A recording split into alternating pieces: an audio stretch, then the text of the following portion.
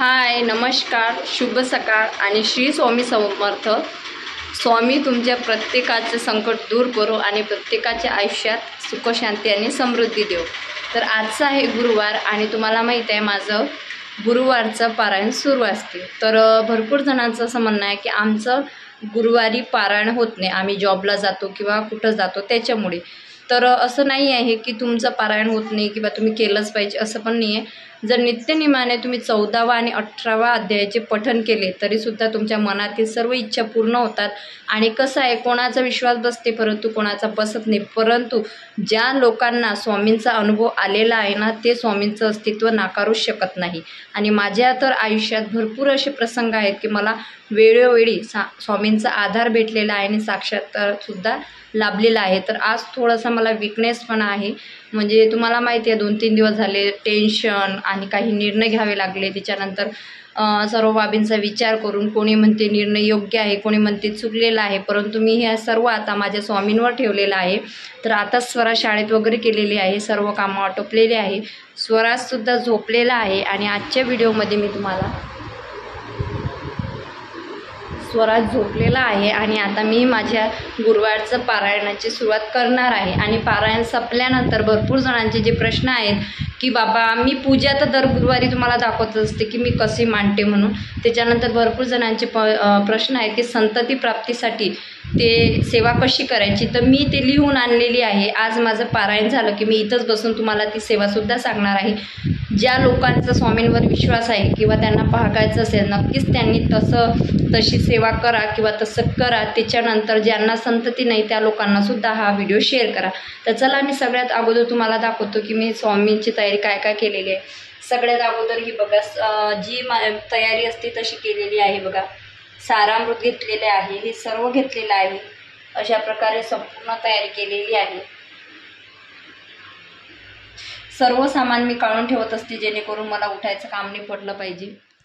अवधूत चिंतन शिवगुरु श्री गुरुदेव दत्त तर आज होता गुरुवार. माझी पूजा मांडणी वगैरे झाली होती.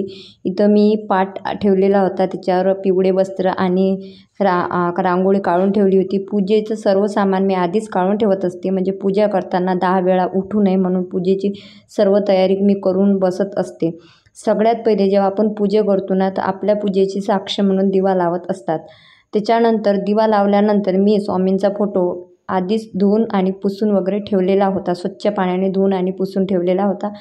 तो मी सर्वात अगोदर फोटा फोटोची मांडणी केली. त्याच्यानंतर दोन पानं घेतले. पानावर पैसा आणि सुपारी ठेवली. त्याला अष्टगंध तांदूळ त्याच्यानंतर फूल अर्पण केलं. त्याच्यानंतर शंख ठेवला. शंख ठेवल्यानंतर स्वामींसाठी पाणी त्याच्यावर झाकण दूध दुधामध्ये साखर तुळशीपत्र आणि त्याच्यानंतर एक फळ ठेवलं. फळ ठेवल्यानंतर माळ ठेवली जी प्लेटमध्ये जे जे तुम्ही मला कॉमेंट्समध्ये सांगत होत्या त्याच्यानंतर घंटी.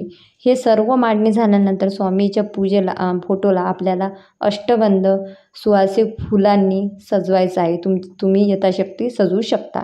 तर आता हे सर्व माझं झालेलं आहे आणि मी प्रसाद वगैरे ठेवलेला आहे. आज मी प्रसाद ठेवला शेंगदाणे आणि खडीसाखर गुरुचरित्र सारामृतचे पठण वगैरे झालेले आहे आणि थोडा वेळ होता तर म्हटलं चला तुमच्या प्रश्नाची उत्तर देऊया. तर भरपूर जणांचा असा प्रश्न होता की बाबा आम्हाला म्हणजे मूल नाही आहे बाळ नाही आहे तर आम्हाला स्वामी सेवा कशी करायची ते सांगा. तर मी मागच्या गुरुवारी सांगितलेलं होतं की मी गुरुवारी केंद्रामध्ये गेली होती आणि तिथं मी माझा प्रश्न मांडला होता. तर अशी आमच्याकडे एक चिठ्ठी भेटते आणि या चिठ्ठीवर जे जे तुम्हाला समस्या आहे त्याची निदान केल्या जाते. तर एका ताईचा प्रश्न होता की मला मूलबाळ होत नाही म्हणून तुम्ही तिथं प्रश्न मांडा तर मी त्यांचा प्रश्न मांडलेला होता. तर मी बोलली होती की बाबा ही सेवा कोणी पण करू शकते का? तर ते बोलले हो ही सेवा मनोभावाने केली तर निश्चितच याचं फल प्राप्त होते.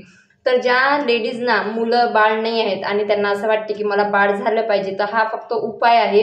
आणि तो किती प्रभाव करते की नाही हे तुमच्या सेवेवर आहे. मग सेवा कधी पण फलप्राप्ती होऊ शकते. एक महिन्याने दोन महिन्याने सहा महिन्याने पण आपला विश्वास अटल असला तर कोणतीही अशक्य शक्य करतील स्वामी ही गोष्ट लक्षात ठेवा.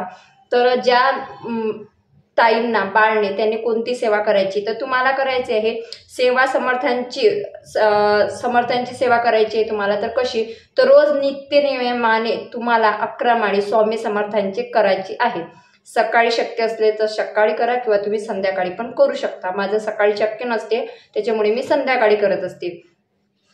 त्याच्यानंतर दुसरी सेवा ही आहे तुम्हाला की तुम्हाला रोज नित्यनेमाने आपलं जे गुरुचरित्र सारामृत आहे जे एकवीस अध्यायाचं आहे ते तुम्हाला त्याच्यातील तिसरा आणि सातव्या अध्यायाचे रोज नित्यनेमाने पठन करायचे आहे. नित्यनेमाने लक्षात असू द्या. त्याच्यानंतर आता तुम्ही म्हणणार आमच्याकडे गुरुचरित्र सारामृत नाही आहे आमच्याकडे केंद्र नाही आहे जर केंद्र असेल तर तुम्हाला तिथं माहिती आहे का हे दोन्ही बुक्स तुम्ही घेऊन या. दुर्गा सप्तशती त्याच्यानंतर एक आहे ते म्हणजे नित्यसेवा स्तोत्र व मंत्र. या दोन पुस्तकात तुम्हाला पाहिजे ते सर्व मिळणार. त्याच्यानंतर एक दुसरा पर्याय आहे. गुरुपीठ ॲपवर सुद्धा तुम्हाला सर्व मिळू शकते. अमेझॉनवर जर तुम्ही जाल तर हे सर्व तुम्हाला मिळून जाणार आणि ते तुम्ही बोलवून घ्याल. म्हणजे तुम्हाला जी जी सेवा करायची आहे ना ती सर्व या पुस्तकातच मिळून जाणार आहे. त्याच्यानंतर तिसरी सेवा आहे तुम्हाला पंचमहायज्ञ करायचा आहे.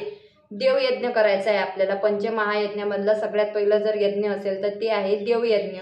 त्याच्यानंतर ऋषीयज्ञ.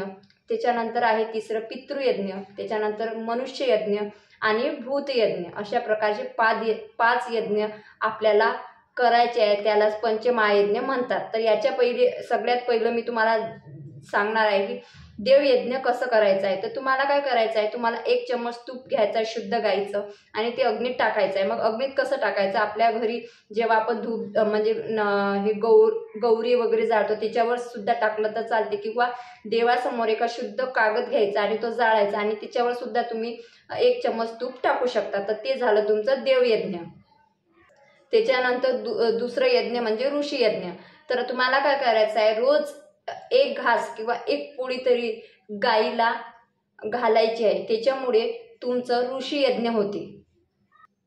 पितृयज्ञ तर तुम्हाला काय करायचं आहे? दररोज दुपारी बारा नंतर म्हणजे बारा नंतर जेव्हा प्रहर असतो तेव्हा तुम्हाला रोज दररोज कावळ्याला एक घास तरी अन्नाचा द्यायचा आहे. पितृपक्षात जर हे केलं तर खूप फलदायी तुम्हाला असं फळ प्राप्त होते. आता चौथं म्हटलं तर ते आहे मनुष्य यज्ञ. तर ते कसं करायचं?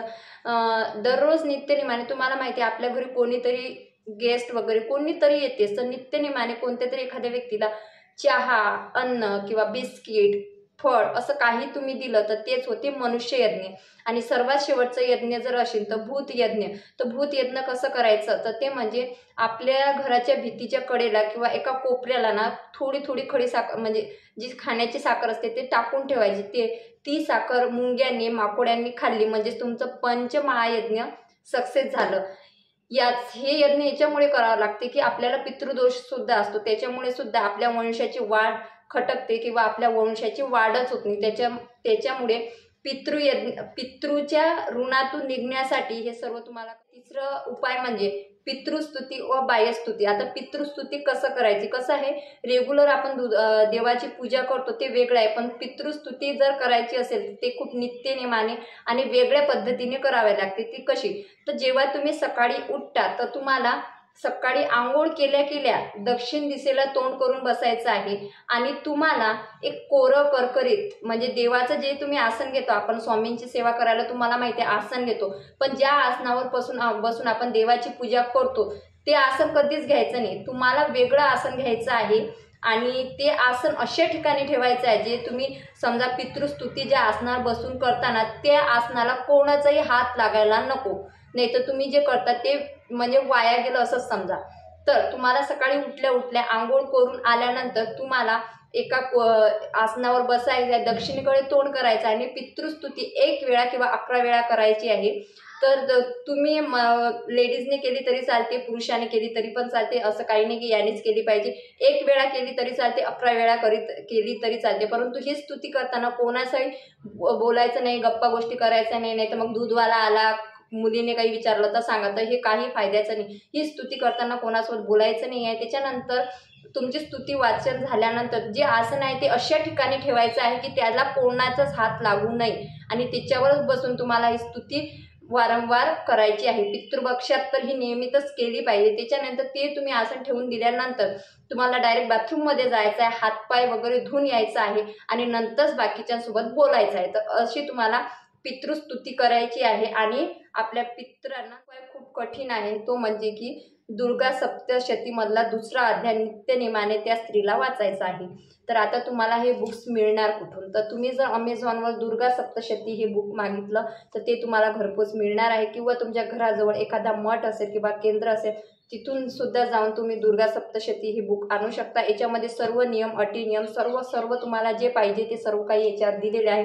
तुमच्याकडे जर पितृस्तुतीचं आता स्तोत्र नसेल तर यूट्यूबरसुद्धा मिळते आणि यूट्यूबर जर नाही भेटलं ना तर तुम्ही अमेझॉनकडून हे जेव्हा नित्यसेवाचं बुक मागवाल ना तर नित्यसेवामध्ये पितृस्तोत्र जे जे स्तोत्र आहे नित्यसेवा हे सर्व तुम्हाला मिळून जाणार. तर अमेझॉनवर तुम्ही मागवू शकता.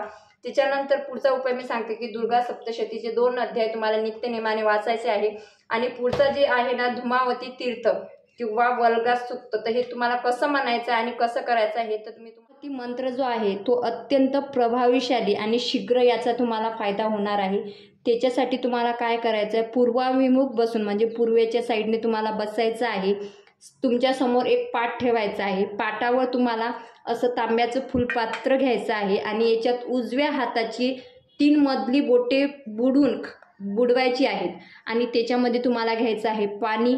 आणि हे पाणी जेवढं तुम्हाला म्हणजे एका साईड जे एकाच वेळेत प्यायचं आहे त्याच्यामुळे तुम्ही जेवढं पिऊ शकाल तेवढंच तुम्हाला पाणी यामध्ये घ्यायचं आहे. आणि तुम्हाला धुमावती मंत्र जो आहे ना तो अकरा वेळा त्याचं उच्चारण करायचं आहे. उच्चारण करताना गप्पा गोष्टी करायचं आणि पूर्ण आपलं लक्ष त्या मंत्रावर आणि आपल्या कुलदेवत्याचं स्मरण किंवा देवताचं स्मरण करायचं आहे. गप्पा गोष्टी करायचं नाही आहे. आणि संकल्प करताना माहिती आहे का ममच्या ठिकाणी स्वतःचं नाव तुम्हाला उच्चारायचं आहे. मम जेव्हा येते ना तेव्हा स्वतःचं नाव घ्यायचं किंवा ममच म्हणायचं. आणि ते तीर्थ स्वतः तुम्ही लगेच पिऊन घ्यायचं आहे आणि मंत्र उच्चार करताना मोठमोठ्याने आणि त्या मंत्राचा उत उच्चार स्पष्ट असावा. आणि ते मंत्र जपण्यापूर्वी तुम्हाला धुमावती कवचाचे सुद्धा वाचन करायचे आहे. तर संकल्प कसा घ्यायचा आहे? तर ओम नमो भगवती शत्रुसहारिणी सर्व रोग प्राशशिनी सकल रिपू धनधान्य रक्षम कुरु कुरु धुमावती शरी शर शंभला ब्लू परीक्षाजीशी अमृत कलश. अशा प्रकारे एवढ्या सेवा करायच्या आहेत.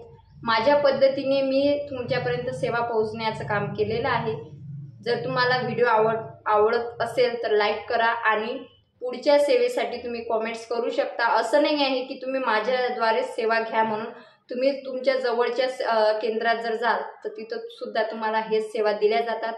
आणि मला भरपूर अनुभव आला. आणि तिथं पण हेच सांगतात की तुमचे अनुभव इतरांना सांगा. आणि तुम्हाला जेवढ्या जास्तीत जास्त लोकांना इथं जोड जोडता आलं त्याचा प्रयत्न करा. म्हणून स्वामींचं जे अस्तित्व आहे ना ते अटल आहे. आणि ज्याचा विश्वास बसतो आणि ज्यांना अनुभव येतात ना ते स्वामींचं अस्तित्व कधीच नाकारू शकत नाही. हे मला भरोसा आहे. तर ज्या ताईंना या व्हिडिओची गरज आहे नक्कीच त्या ताईंपर्यंत तो व्हिडिओ पोहोचवा शेअर करा. आणि जर तुमच्याकडे हे मंत्र आणि हे नाही आहे तर तुम्ही अमेझॉनवरून ते मागवू शकता. तुम्हाला जर व्हिडिओ आवडला असेल तर लाईक कमेंट शेअर सबस्क्राईब करा. आणि अशाच नवनवीन व्हिडिओ पाहण्यासाठी बेलचे आयकन बटन दाबा. श्री स्वामी समर्थ अवधूत चिंतन श्री गुरुदेव दत्त.